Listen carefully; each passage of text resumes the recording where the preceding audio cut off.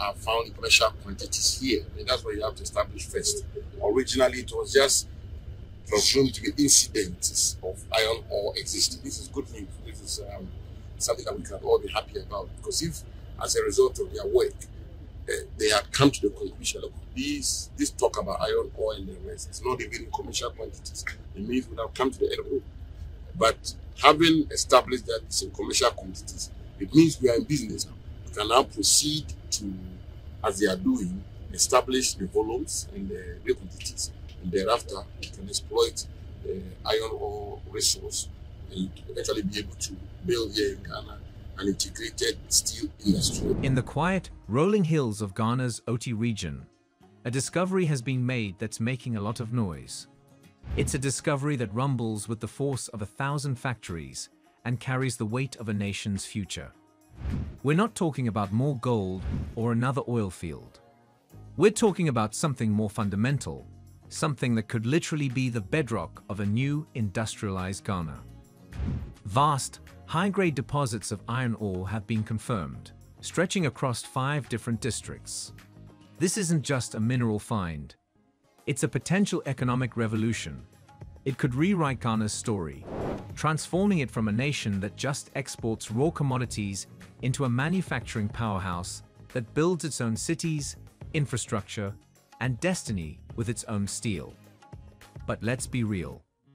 Africa's history is filled with stories of resource discoveries that turned into curses. Stories of immense wealth that only fueled corruption, deepened inequality, and left people with polluted land and broken promises. So here's the billion-dollar question. Is this massive iron ore discovery Ghana's golden ticket to prosperity? Or will it become just another tragic chapter in that same old story? The stakes couldn't be higher. Let's break it down. To really get what's happening, we need to go to the Oti region, a relatively new region in Ghana. It's here, in communities like Gyamurume within the Kadjebi district, that the Earth has given up a massive secret. But the discovery isn't just in one spot. Significant iron ore deposits have also been confirmed in the Guan, Biakoye, Jasikan, and Krachi East districts. This isn't a small find, it's a regional treasure map the effort has been led by a key state agency, the Ghana Integrated Iron and Steel Development Corporation, GISTEC, working with their technical partners, the Africa Exploration and Minerals Group. Since 2020, they've gone from speculation to hard evidence. Geologists have been meticulously mapping the area, tracing a massive 8-kilometer-long belt of ironstone. Imagine an underground spine of industrial potential, about 30 meters wide on average. And the best part, a lot of this ore is visible right at the surface, which could make getting it out of the ground cheaper and easier. But seeing it on the surface is just the start. To know what's really down there, you have to drill. A huge drilling program kicked off in mid-2024 to figure out the depth, quality, and true volume of the ore. The initial results of that drilling are what everyone, the government, investors, and the people of Ghana, is waiting for, with the final, official resource estimate expected around September 2025. Africa Exploration and Minerals Group's chief geologist has already said the drilling is hitting the iron formations just as they predicted. And in the middle of all this, they got a bonus prize. Alongside the iron, they stumbled on something else serpentinite rocks, which to a geologist often point to nickel. And sure enough, preliminary drill samples are showing what could be mineable concentrations of nickel, though they're still waiting on the final lab results for confirmation. This find in the Oti region isn't just a data point. It's a sleeping giant that's finally waking up. A mineral discovery is only as good as its quality and scale. You need all that can compete globally and justify the huge investment it takes to build an industry from scratch. This is where the Oti region discovery goes from promising to potentially world-class. Let's talk grade. In mining, grade is everything. The early results from the Oti region are just stunning. Some of the surface material has shown iron oxide concentrations up to 82%, which means about 57% pure iron. The average samples are hitting around 47% iron. These aren't just good numbers, they're exceptional. GISTEC officials say if these grades hold up, the Oti deposits could be higher quality than some currently being mined elsewhere in Africa. In a competitive market, that's a massive advantage. To make sure this wasn't just wishful thinking, over 100 samples were sent to independent labs at the internationally recognized Intertek Laboratory and the University of Ghana. Both confirmed the high iron content, adding serious credibility and sparking a wave of investor interest. Now, let's zoom out. This Oti discovery adds a huge high-quality piece to a puzzle Ghana has been assembling for years. The nation already has other major iron ore deposits, like the massive 1.3 billion ton Sheini deposit and the smaller, but richer, Oppon Manso deposit. Add it all up, and Ghana is sitting on an estimated 1.7 billion tons of iron ore before we even get the final count from Oti. The Oti find, with its mix of size and incredible quality, could be the key that unlocks the value of all the country's iron reserves. The Oti regional minister, Joshua Makubu, didn't mince words, saying what's been found in his region will transform Ghana. He even half-jokingly told people in the capital to start looking for land in Oti, expecting an economic boom. This isn't just local hype. The CEO of GISTEC has confirmed that serious investors are already knocking on their door. But he's smartly preaching patience, wanting to get all the data right before signing any deals. It's a careful approach that's critical to getting Ghana the best deal possible. So why all the excitement? You have to understand what iron ore really is. It's not just another rock. It's the essential ingredient for building the modern world. When you hear iron ore, think steel. Over 98% of all iron ore mined becomes steel, and steel is the skeleton of our civilization. The device you're watching this on, the building you're in, the car you drive, the bridges you cross, it all depends on steel. A nation that can't make its own steel has to import the building blocks of its own development. That's exactly where Ghana has been. Every year, the country spends around 900 million US dollars importing iron and steel. That's nearly a billion dollars leaving the country every year just to buy a product whose main ingredient is buried right under their feet. The discovery in Oti presents a historic chance to flip that equation completely. The vision Ghana's leaders are laying out isn't just to dig this stuff up and ship it away. That's the old model that kept African nations poor. The new vision is about value addition. The goal is to start producing steel in Ghana by 2027. This is a huge shift in economic strategy. It's a declaration of intent to capture the entire value chain. Instead of shipping red dirt overseas, they plan to forge gleaming steel beams at home.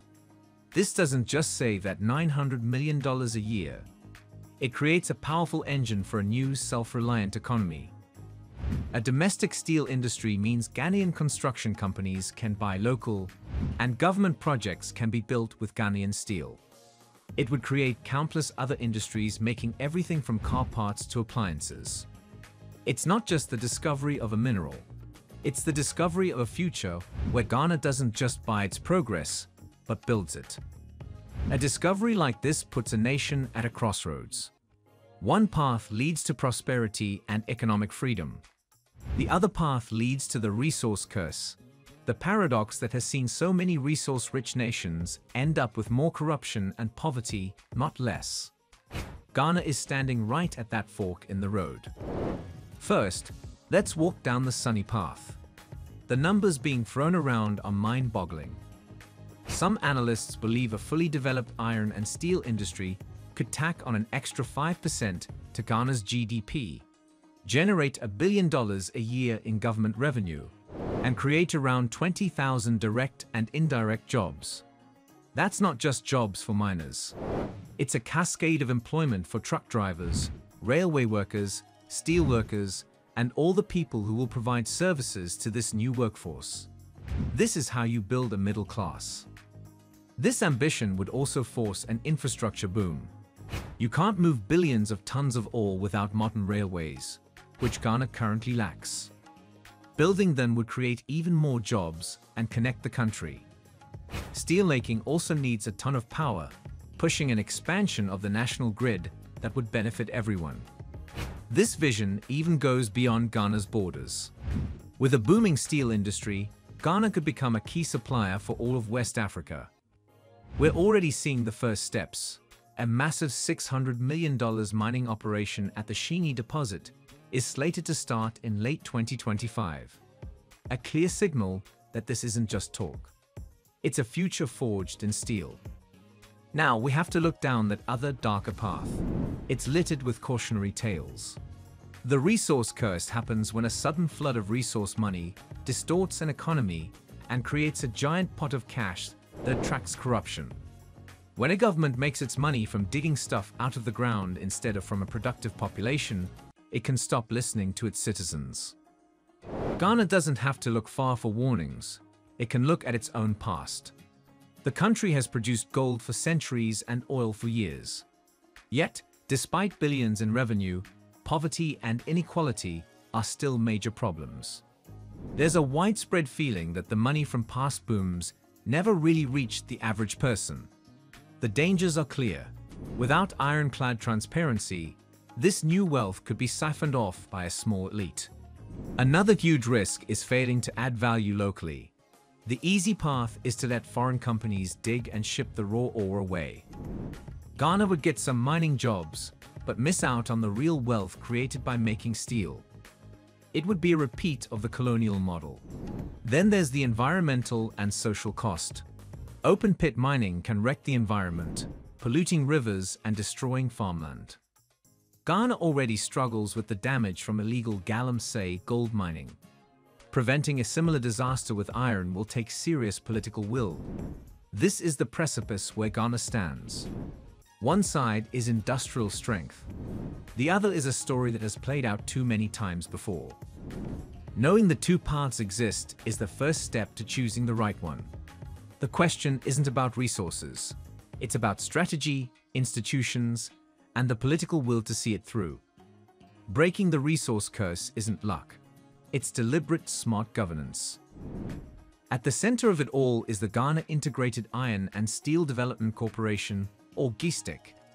Created by law in 2019, its entire purpose is to avoid the mistakes of the past and develop an industry that benefits Ghanaians.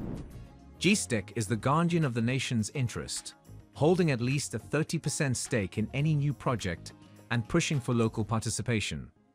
The success or failure of this whole thing might just rest on its shoulders. The core of their strategy is a laser focus on value addition. The government has said time and again, the plan is to build steel mills, not just export ore. It's harder and more expensive, but it's the only way to genuine development. To pull this off, transparency is non-negotiable. Contracts must be public, revenues must be tracked, and citizens need to see where the money is going. Many are calling for a sovereign wealth fund to save and invest revenues for future generations. There's also a push to do this the right way by attracting green capital and proving the mining can be done with minimal environmental damage and maximum benefit to local communities.